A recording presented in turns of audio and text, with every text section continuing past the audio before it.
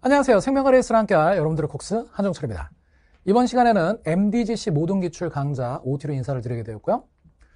네, 먼저 단계상 기출 분석 강좌로 12월에 개강하는 강좌입니다.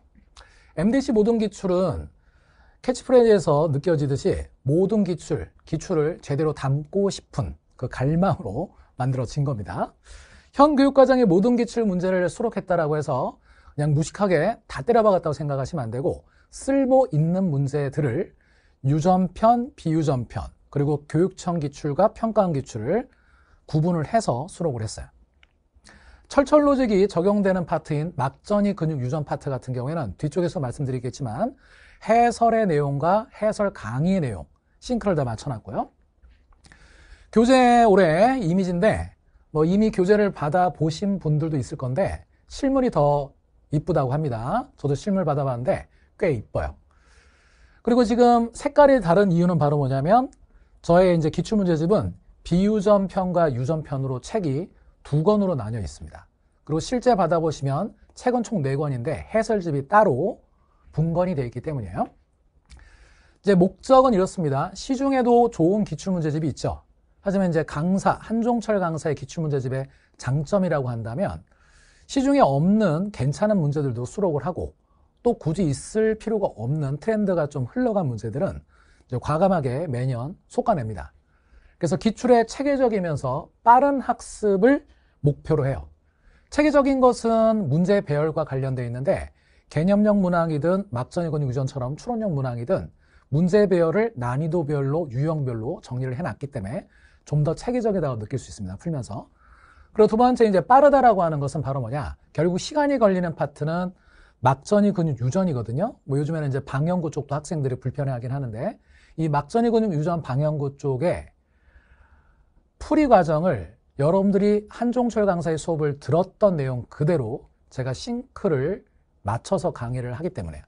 저 또한 매년 진화를 하면서 풀이에 변화가 일어나는 부분도 있어요. 예를 들어서 대표적으로 근육의 분수 조건, 비가 풀이.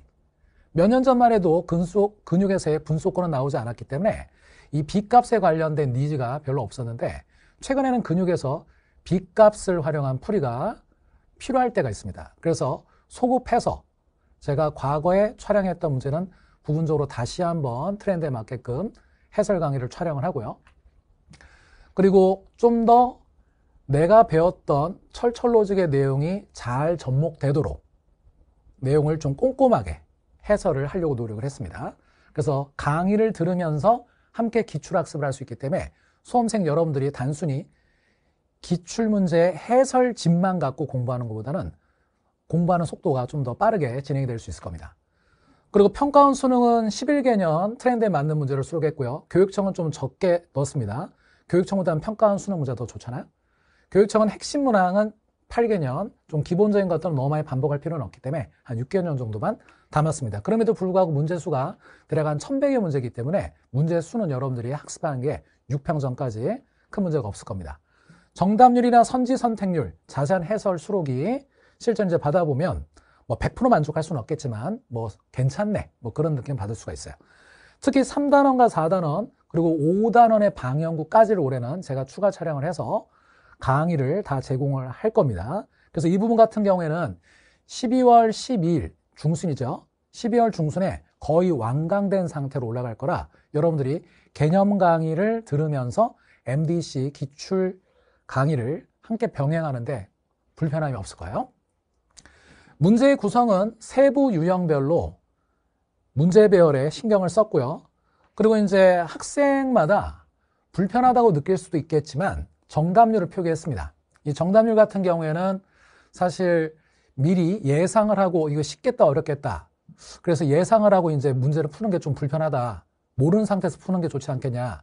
그 그건 이제 실무 훈련할 때는 그게 의미가 있는데 이 정답률을 표시해 놓고 봐두는 이유는 뭐냐면 옛날 그 당시에 여러분들 선배 수험생들이 겪었던 그 난이도와 지금의 여러분들이 느끼는 난이도는 다를 수밖에 없어. 왜냐면 그 사이에 또 수능의 역사가 흘렀기 때문에. 그래서 정답률이 30%야, 40%야. 정답률이 매우 낮은데 지금 여러분들이 풀으면 되게 쉽다고 느낄 수도 있거든? 그럼 그거는 그 당시의 정답률로 여러분들이 타임머신을 타고 왔다고 생각하고 그 당시 수험생의 마인드로 한번 풀어보라는 거지. 느낌이 좀 안 맞아. 나는 쉽게 풀었는데 왜 이렇게 어렵다고 했지? 이렇게 받아들이시면 안 된다는 거예요.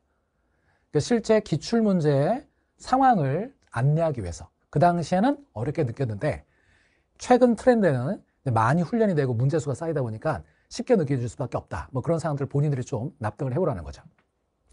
그리고 유전처럼 풀이 공간이 충분히 필요한 경우에는 연습장을 쓰지 않도록 한 문제, 한 페이지에 한 문제가 수록되는 이런 경우도 있습니다. 이건 여러분들이 이제 여백을 활용하라는 취지예요. 시험지의 여백은 넉넉치가 않습니다. 근데 이제 기출학습 우리가 실전 연습을 하는 건 아니거든. 말 그대로 기출 문제를 가지고 공부를 해보려고 하는 것이기 때문에 여유 있게 너무 시간 재고 풀지 말고 꼼꼼하게 차근차근 해보라는 겁니다. 그리고 이제 정답과 해설지에서는 문항별 세부 유형, 정답률 및 선지 선택률 표기, 그리고 철철 로직이 도입되는 문제의 경우에는 철철 로직을 하이라이트 표시를 해가지고 여러분들이 좀 더 빠르게 확인할 수 있도록 내용을 정리를 해봤고요. 이제 MDC 활용법은 이제 추천을 드리는 거예요. 제안을 드리는 겁니다. 가급적이면 개념 강좌 함께 병행해 드리는 병행하는 걸 추천합니다. 개념 끝내고 기출하려고 하면 이미 6 평이 다가와요. 그러면 6평에 대한 실전 연습하기가 좀 힘들거든. 완벽하게 하지 않는다 하더라도 기출 문제를 가급적이면 여러분들이 딱 한 번만 보고 끝내는 경우는 없기 때문에 처음 1회도 갈 때 너무 완벽하게 한다기보다는 개념 진도에 맞게끔 진도를 좀 뽑아주는 게 좋을 것 같아. 그런 측면에서 교육청 평가원을 모두 푸는 게 어떤 수험생들한테는 나중에 시간이 흐르고 보면 불가능했던 경우도 있을 수 있거든. 그래서 가급적이면 좋은 문제인 평가원 편을 먼저 풀어보시고 시간적 여력이 나중에 허락이 되면 교육청을 풀어보는 이런 순서로 저는 제안을 드리고 싶어요. 그리고 실제 어 12월 말 또는 1월 초부터 제가 현강을 시작하는데 현강에서 과제물로 MDGC가 사용이 됩니다. 그래서 이 MDGC가 매주 과제물로 어떻게 나가고 있는지도 인강생들을 위해서 자료를 올려드릴 거예요. 과제물 안내표. 그럼 그거에 맞춰서 진행을 하셔도 됩니다. 개념형 문항 같은 경우에는 대부분은 강의를 볼 필요가 없어. 제가 3단원 촬영을 하지만 그런 건 그냥 해설지를 보고 이해해서 그냥 넘어가도 되는데 추론형 문항, 막전이군 유전, 그리고 일부 방향 문제 같은 경우에는 문제풀이의 효율성을 극대화시키기 위해서 강의를 활용하는 게 시간 단축에 도움이 되실 거예요. 그리고 이제 교재 입고 업로드를 말씀을 드리면 12월 12일 날 제가 지금 이건 12월 10일 날 12월 10 10일 날 제가 오트를 찍고 있는데 12월 12일 날 교재가 입고가 되면서 개강도 함께 진행이 될 겁니다.